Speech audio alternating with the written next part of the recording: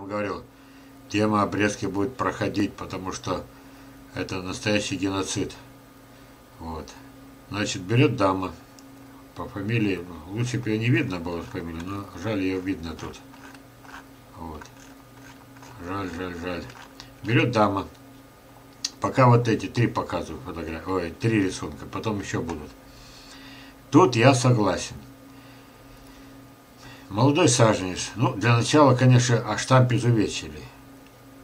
Изувечили. Потом я покажу вам, докажу. Они его изувечили. Они сделали, обычно делается метровый штамп, э, нанося раны, уничтожая лучшие ветки. Ладно. Плюсом является только вот этот левый снимок. Почему? Частично обрезав эти ветки центральный проводник, мы принижаем высоту будущего дерева. Оно все равно будет расти вверх. Вот так вот. Все равно. Но мы все-таки относительно принижаем. А примерно 10 дней назад по Башкирии пронесся дикий ураган. И, конечно же, показали это, раздавленную машину, показали раздавленную женщину. Ну, как образно говорю, то есть искалеченную. Ну, деревья падают, да. А в садах в это время падали, пусть немногочисленные, это ж вам не это, не Украина с 50-х годов, которую я видел, где все утопало в деревьях. Это недоростки, недомерки с хрупкой древесиной, изувеченной, высоким штампом. Наверняка в этот день, то, что я видел, это было жутко смотреть на эту Башкирию в этот день. Там несколько районов снесло, все подряд. Конечно, там все, что можно было изувечить, особенно высокорослые деревья на высоких штампах. Ну, это можно принять. Что делает дама потом? Она собрала 904, а я недавно смотрел, там уже за миллион. Я просто не могу уже так распыляться, чтобы все это вам показывать. Поверьте, сейчас, вот здесь, а, так и наберете. Обрезка плодовых деревьев для начинающих. Попадете на ее вот этот самый. И посмотрите. И вы увидите, что там уже за миллион. Смотрим. Она это ничего не выдумывала. Она цветовод. Она в садоводстве, я смело говорю, пусть оскорбительно для нее. Потому что не надо было учить людей убивать деревья. Раз ты сама не, их не выращивала. Вот. Смотрите. Апа отрезала. Сделала еще гуще. Согласны? Вот это третье. Это тот, кто рис... делает рисунки, а он выставлен он прямо в ютубе. Только наберите обрезка и наткнитесь на него. Вот на этот самый фото, или как его назвать. Или, ну, вот, вот на это вот третье дерево. Она просто взяла для того, чтобы научить нас, как убивать дерево. Здесь еще терпимо. Обратите внимание. Опять отрезала не целиком, вот только тут маленько Вот. И сделала, тут раз, два, три, четыре, пять, шесть, ну, порядка 15 а, а, этих самых отрезов. Дерево еще молодое. Загущая крону. Вы согласны, что загущая?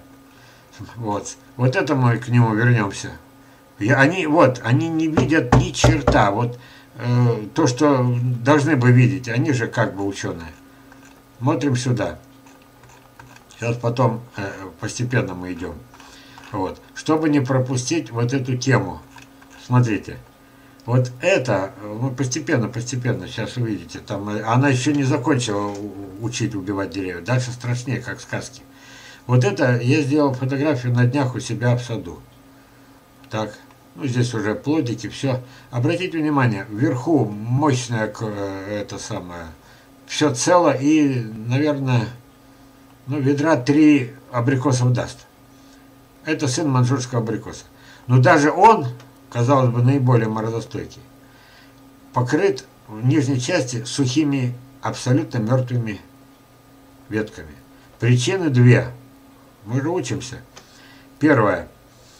Пришла пора, когда э, не пропускает верхняя крона, верхняя часть кроны, солнечные лучи, нижняя часть начинает ветки отсыхать. Помните э, Дану из э, Львовской области? Помните ее роскошное эти персик сотнями килограмм плодов, которые все собиралось отрезать, иначе, говорят, дерево погибнет, если ветки не отрежут. Вот теперь можно отрезать. То есть оно плодоносило. Вот тут были, здесь было несколько урожаев, в общей сложности, наверное, ведер 30-40 то точно уже было на нем. вот, на этом дереве. Но я их не трогал. Вот в этом году впервые, а опять было две подряд 40 раз на зиму ветки. Это вторая причина, есть еще третья.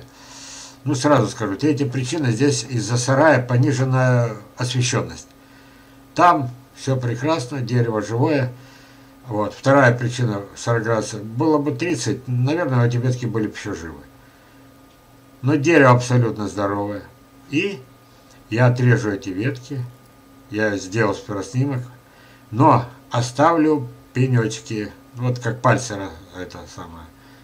На руке растопырьте. Вот такие пенечки будут торчать везде, где сухие ветки. И дерево выйдет на волю, на солнце. Будет подносить еще долго-долго. Теперь смотрим сюда. Вот это вот дебилизм, я вам показывал уже, наверное, в трех этих самых вебинарах или в двух. Вот этот дебилизм заключается в том, что ветки еще живы. Они их уничтожили штук 40. Посмотрите, не, не маленького роста девушка, да? Вот. То есть я когда стою, вот, вот тут моя голова где-то. Вот до сюда, а я еще раз говорю, ведер 30 я с нее снял до того. Тут такой урожай, что у меня есть еще видеофильмы. А те, кто, ну как меня могу обмануть, когда в это же сарай с точностью да вот торчит эти самые, вот они эти, как их. Тут сучок виден, тут еще что-то, как бы это. Вот, тут щель видна, вот. Вот сучок. Кто скажет, да, действительно, это же дерево годом, двумя, тремя раньше, здесь все усеяно, столько абрикосов, что пройти невозможно, не раздавив. Все это это с каким хреном вот это вот все, видите? Вот берут, а потом, э, ну, ну а как, это же журнал, ему надо деньги зарабатывать. Ведь если ничего не делать, тогда и журнала не будет. Значит, надо придумать агротехнику, например, отрезать 40 веток, вот, и садить на верную смерть. Вот, ладно, это мы посмотрели. Сейчас самое интересное впереди. Здесь посмотрели. Вот это для чего я показываю когда вот она продолжала загущать, загущать, загущать, загущать, это загущение, вы со мной согласны или нет? Ну-ка, смотрите в глаза, кто скажет, что это не загущение, а осветление? А? Я взял вот этот пример, он у меня перед глазами стоит, отрезали, оставили, естественно, тут ни одной почки не было, они все неполноценно, не все из неполноценных веток. Ну и судьба такая. Проходит три года, большая часть веток мертвых. Почему? Потому что эти ветки вторичные. А первичные ветки, что сделала вот эта дама? Она ничего не сделала, она этого и делать-то не умеет. Она просто взяла готовую. Вот оно. Загущать, загущать, загущать. Судьба загущенных, смотрите сюда. Это только один из сотен, вы знаете. Просто люблю преподнести свеженькое что-то.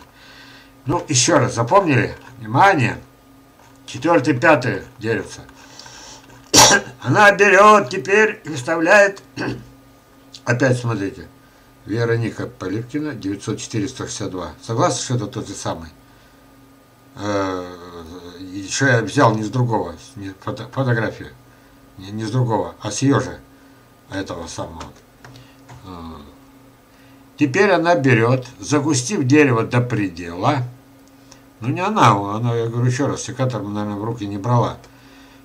Потому что после вот этого пятого дерева, пятого рисунка уже смерть наступает. Смотрите. И давай отрезать целиком перед этим.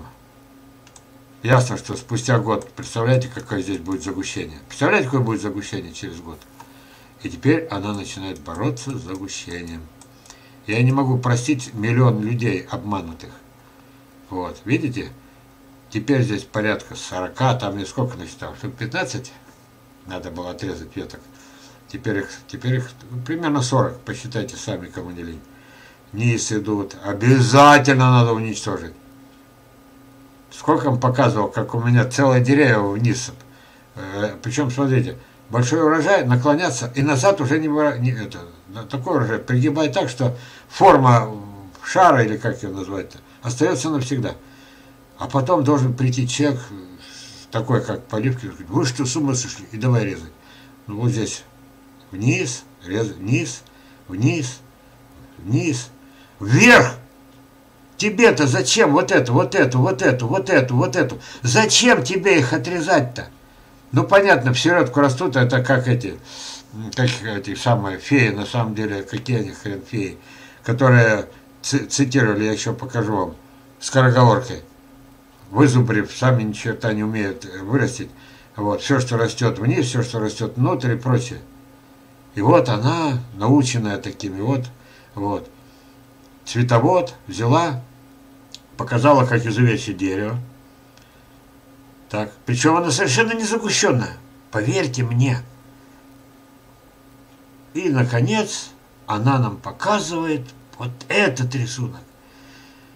Это ужас, это все рамки. Она все, что можно было, убрала. Зачем? Росло дерево, плодоносил. Нахрена тебе это надо было?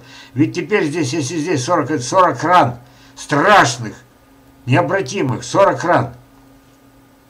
Так эмоции из меня лезут, не могу иначе. Вот это я уже сделал в своем саду. Ну, дня три назад специально для вас. Ой, господа ученые, от вас это пошло. Тут уже речь идет не о осветлении кроны, чтобы там потом еще будут такие ужасные. Друзья, ребята, я не могу все ваши письма здесь процитировать. Видите, сколько я времени трачу на белиберду, чтобы хоть сколько-то э, вред снизить, да? Вот на эту белиберду, фосфатогорию. Вот, вынужден. Вот, я не смогу все, а там же в ваших письмах. Да, я, вспоминайте, дойду до ваших письма, нет, вспоминайте, друг, Э, как это, я все сделал так, чтобы воробей пролетал. Вот. А другие, валенок надо, чтобы пролетал. О, валенок пролетит. Ну, прикинули. Ужас. Но это осветление. А теперь сам штамп. Я, естественно, штамп не делал. На черта мне нужен штамп. Вот торчит ветка. Вот торчит ветка. Запоминайте, только без хохота в академическом зале. От вас, ученое, пошло, к сожалению.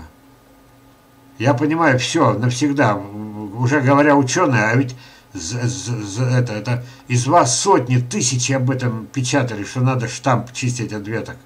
Тысячи! Невообразимое количество.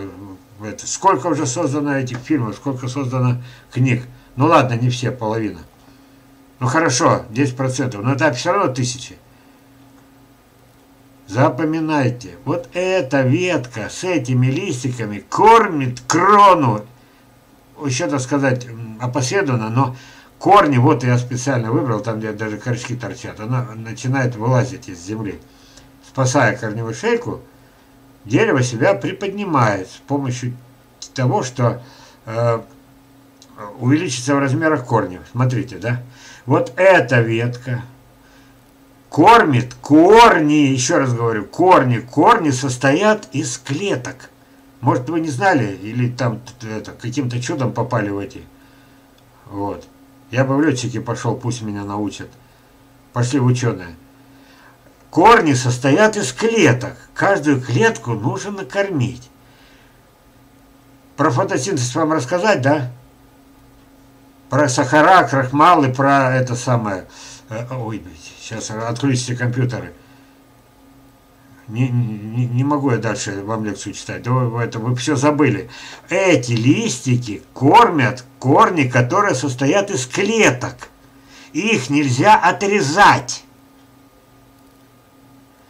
Плюс к тому же, когда вы все-таки отрежете дерево, не сразу погибнет. У него будет просто короче век. У него будет здесь страшная рана. Я потом однажды, друзья, что сделаю? Вот, смотрите, архив. Вот. И из-за вас, кстати, вы виноваты, я вынужден постоянно пополнять эту коллекцию. Вот. Один из вебинаров будет выглядеть вот так. Сейчас покажу, дойду до низу. Сколько здесь, вот посмотрите это, сколько мы будем с вами, вот сейчас где-нибудь нажму, один раз только, даже комментировать не буду. Что мы будем с вами проходить? Вот. Потому что это все надо знать и уметь, и понимать, что творится на этом свете. Как можно убивать деревья? Что вы творите? Вот. Ой, жалко, не могу сейчас вам все показать, да? Э, это надо несколько вебинаров, кстати. Ладно, выключил. теперь возвращаюсь обратно. Вот это вот, и я потом, у меня их уже как сотни таких этих, когда появляется рана, затем появляется вот здесь вот, да я буквально, ой, стер, ой, уже выключил, ладно, я буквально хотел показать, как мой сосед, да какой, все четыре соседа уничтожили сады. Я с телевидением ходил по их садам с разрешения хозяев. Не все, одним все-таки калитку потом забил. Хотя польза какая огромная, когда он калечил, а я все это выносил на свет Божий. Вот тут вот получается рана, не заживающая никогда. Вот тут, вот тут. Еще раз говорю, эти ветки созданы для того, чтобы кормить корни. Крону другие ветки кормят, там. Я сегодня хотел быть... Вот это в моем саду сделано. Смотрите, тоже в моем саду. Вот это я отрезал годом раньше. Я калечу деревья, потому что мне кушать хочется. Результат. Ладно бы мне одному. Большую семью кормлю. Вот одну отрезал, вторую, третью. Вот, потом, вот еще и там отрезано. Ну, в общем, видите, раз, два, три, четыре, пять веток. Ух, сколько заработал. Смотрите сюда. Пришла весна, начинается лето. Вот здесь вот теперь уже, если дальше вы увидите потом, здесь отпилено мной уже. Вот э, из этих раз, два, три, четыре, пятые раны, все, вот эта ветка мертва. Я у себя таких обнаружил несколько десятков. Ненавижу сам себя и ненавижу то, что я вынужден деревья убивать. Только кого ненавидеть. Я уже как змея скоро всех кусать начну. Вот. Теперь смотрите. Перед этим Вспоминайте, мы с вами ходили, я еще был с, это, с племянницей Юлей, мы с вами подходили к этому дереву, отрезали эти ветки, видите? Вот. Опять же на черенки. Ну, вспоминайте, последний снег, Юля, вот. Ну, есть такой фильм. Раз, два, три, четыре, пять, шесть, семь, восемь, девять, да? Десять. Ну, девять где-то. Снова отрезал. Придет следующая, если будет зима так, такая же, вот здесь придется отрезать. И так, пока дерево мое не исчезнет. Вот. Вот это страшная правда жизни. Страшная. Вот это вот, когда, если ты живешь где-то там в Сочи, пожалуйста, напиши, что моя технология рассчитана на Сочи. Вот это надо. Как не перейти на спокойный тон, глядя на вот эту, на эту подлость. Вот они. Сейчас э, с этим оскалом. Вы представляете, взять и на высоты головы и выше отрезать все ветки. Не только вот эти, вот все, вот все. Вот. А потом, кто кого учил? Ну, наверное, не вот эта молодежь. Не вот эта молодежь. Наверное, они их научили. Почему? Потому что это первый канал, это э, телеканал Бобер. Их смотрит вся страна. Вот. Вот эта подлость, предательство невыносимое. Я же им туда послал, я вам потом покажу э, материалы свои. Ни хрена не надо. Прошло еще несколько передач дебильных увидел вот таких. Опять послал. Опять не надо. Туда я теперь с вашей помощью борюсь. Свежие совершенно съемки этого года, видимо. Потому что в прошлом году и не было, в этом году уже два раза показали. Одна калечит. Все это до уровня вот до сюда. Обратите внимание, ни одной веточки, все изувечено. Когда дерево было моложе, оно все было в ветках. Все, все, все изувечено, изувечено, изувечено. А вторая, обратите внимание, что дерево больно, оно все, это видели бы весь фильм, оно все мхом до верхушек покрыто. Это крайняя степень болезни. Вторая лечит. Потом поменяются местами. Тут уже нечего. Ой, я не могу. Это невыносимо вот это вот. Вот я не могу понять, имею я право, вот эта фотография моя, вот это моя, вот это моя. Скажите мне, вот это мое. Имею я право вот так вот э, говорить, что они не феи вовсе. Они убивать, э, учат убивать деревья, на, прям натурально убивать, не просто там а, а, а деревья погибают, может, не за один год, за несколько лет, мученической смертью. Все, что, к чему они прикасаются, все покрыто мхом. Я пробовал найти их сады. Где они вырастили хоть одну яблоню-то? Где они берут? У них саженцы брали, дебильные откуда-то. Вот. Это эти деревья где-то нашли, давай их. Они, они больные насквозь, это дерево, оно такого цвета, оно зеленое. Оно зеленое от этого, от мха. Это крайняя степень предсмертная. И она на нем режет эти ветки, отрезает.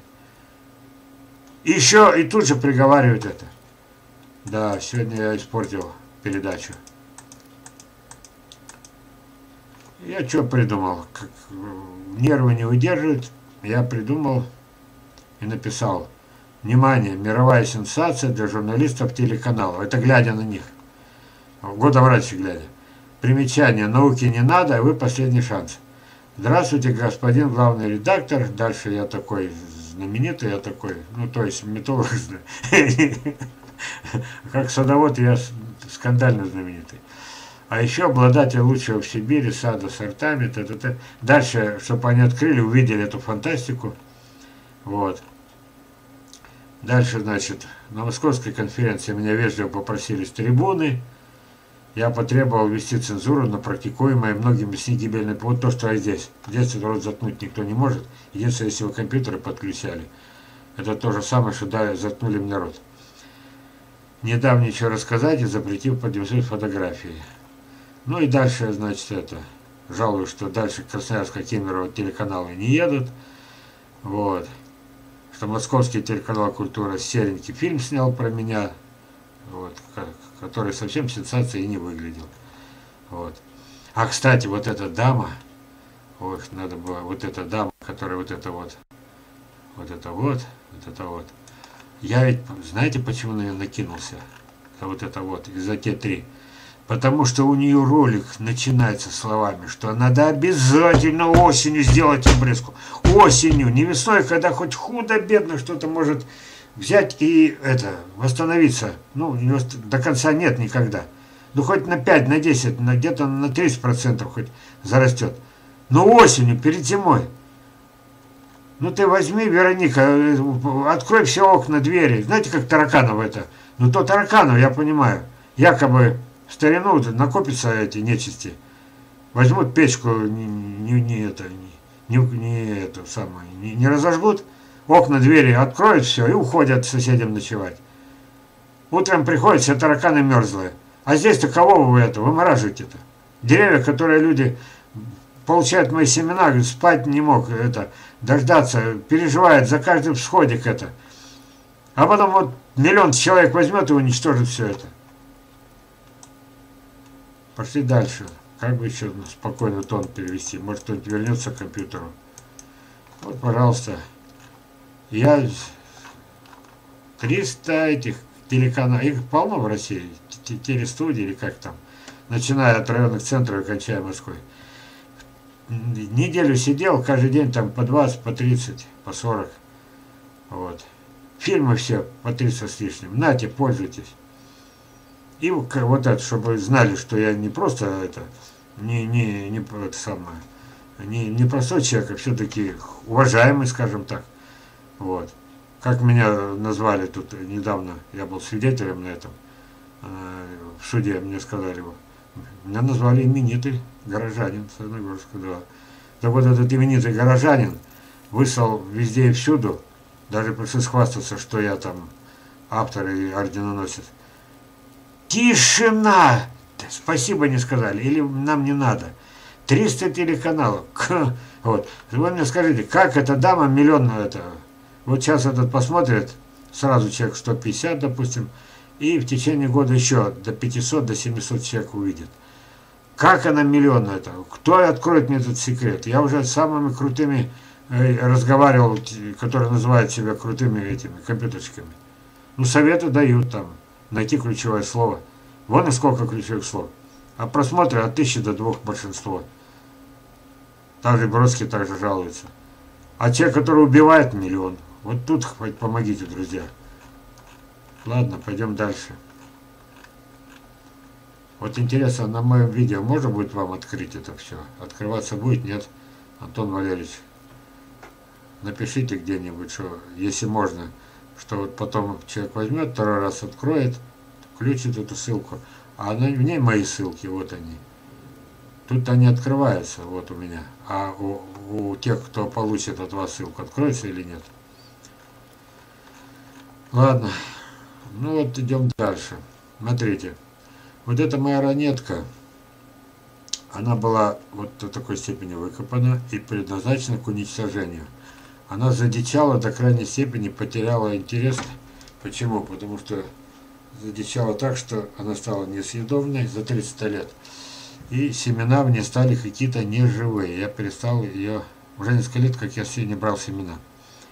Если вы получали от меня семена одичавшей ранетки, то с молодых крепких деревьев, там размер плодов, ну, может, как голубиное яйцо, да. Вот. И да, годятся они, прежде всего, конечно, не для того, чтобы... Нет, с них может вырасти яблоко нормально. Соседи-то опыляли. А, допустим, скорее всего, это прекрасный подвой. А вот это для чего мне? Последний момент, когда я позвал своего друга, лесоруба, как я вас с ним познакомил, знаете почему? Сколько он мне рассказал про эту дебильную практику. Ладно, я только один пример. Значит, только один пример. Они выпиливают на многих гектарах тетрадь. Внимание, я про садоводство. Они выпиливают кедрать, а пихта, первый же ураганный ветер, вся легла. Дальше я не буду продолжать, это заслужит отдельного разговора. Его вот эти наблюдения, или как свидетельство преступления, это они, им цены нет. Вот это, не просто, не только муравьева уксусом поливаем, мы изводим деревья, а потом тонем в этих самых. Потому что то, что вода испаряет влагу и получается облака, это все знают. А то, что деревья испаряют влагу еще больше. Вот. И регулируют э, эти самые водные потоки вот, и насыщенность э, облаков. Об этом почему-то никто не знает. Ну ладно, здесь одно конкретное дерево. Уже когда он его из удобства начал отпиливать ветки, я сказал, стоп, мне нужна фотография. Во-первых, я хочу вот этой страшнейшей обрезкой посмотреть, вернуться ли качество. Это называется обрезка на омоложение. Вот, я как вспомню, это молодое дерево. Вы многие видели, я показывал фотографии. Вот. Розового цвета плоды, вкуснючие, яблоки не надо. Ну, она же не привита была, что вы хотите. Сибирь, к тому же жесткий климат. И вот, значит, это первая причина, вот она цветет, посмотрим. Вернуться качество или нет. Второе. И главное. Вот, одна из этих фей, вон та, которая Платонова, я вынужден уже, я молчал, думал заткнуться и все, и ладно, не буду позорить взяла. В одном он на сайте есть этот фильм, его видели тысячи, наверное, десятки, может уже и сотни, как вот у этой Вероники, миллион просмотров. Вот. Подошла к дереву, ну, помоложе этого, но взрослому. И откопала точно так же корни. Это учебный снимок, ему цены нет. У меня таких ключевых несколько сотен, которые даже объяснять не надо. И когда она выкопала и сказала, представьте себе, ну я примерно, ну без вранья, значит, середина августа, так, и вы на три месяца оставляете выкоп, вот так вот, примерно, все, вот копия. Это Сергей копал, но он не знал, для чего мне пригодится. Он копал, чтобы избавиться от этого дерева, и посадить другое, места нет, в стране нет места, а он вынужден это. Вот видите, вот это уже, будущее, зная, что будет уничтожено, вот это вот я подсадил, вот видите, там бутылка стоит. Вот. Это я подсадил. Вот. Потому что здесь тоже было выпилено еще одно дерево. Вот тут, вот, вот оно, видите? Вот. Причем деревья раритетные, им цены нет. А выпиливаем, потому что иначе с голоду помрет. Много, нет, не так. Это грубо, грубо, никто не помрет. Но это, жить станет легче, жить станет веселее, как говорил Сталин. Итак, в середине августа вы должны, это она учила всю страну, выкопать вот так, оголить верхние корни и оставить на три месяца. Представляете? Цель. Корни должны после этого стать более морозостойкими. Это, она назвала это закалкой. Изувечила почву, оголила корни и назвала это закалкой. Я начал считать. Три месяца, это середина э, так, первое, получается, середина августа это первый месяц, середина сентября второй месяц, середина ноября, а, 30, так, сейчас. Там получалось это, сейчас я сбил со счету, по ее словам, получается, к 1 ноябрю она должна закончить закалку. А 1 ноября э, в Сибири и во многих регионах в Северной России выпал снег. А когда выпадет снег, закапывать это будет поздно. Вот. И вот это, представим себе, что у вас 20 деревьев взрослых. И вы сделали 20 таких ям. Вам заняться больше них. Вы и так должны были перед этим метровую кубовую яму выкопать. И, и вот я пытался понять, я жалел, зачем это? Ну, понятно, что никакой закалки речи нет. Она уничтожила дерн. Дерн – это защита от мороза, правильно? Вот. Она перестроила всю физиологию дерева. Сейчас на три месяца дерево лихорадочно, оно начинает болеть, лихорадочно перестраивать э, всю физиологию, потому что корни стали кроной. А это две большие разницы. Ему нужно подготовиться к зиме, спасаться, спасаться ему нужно. От Платонова и от его дебильных советов. Я пытался понять, зачем это было сделано на самом-то деле. В ее больной голове родилось, допустим. Допустим я уже называю ее больной, потому что, может быть, где-то да, услышат, может, я не говорю, ну хоть уберут-то эти ролики дебильные, э, вредные, опасные, смертельные с этого, чтобы люди на сайты не смотрели. Тем более повторяют и повторяют. Для чего? Нет, не так. Где, в каком Будуна кто-то это придумал, что она же не садовод? Она же лепит Горбатова, есть такое выражение. Почему? Потому что иначе-то никак. Ей же нужно заполнить эфир. А тут, пожалуйста, несколько минут копала, долго рассуждала, рассказывала, закалила. Это миллионы деревьев так выкапывать будем? Кто ее научил? Я хочу знать первоисточник. Мне иногда бывают такие поразительные мысли. Я когда догадался, у меня от стыда, я это называю, я фильмы показывал, фотографии сейчас не к месту, а то никогда не закончу.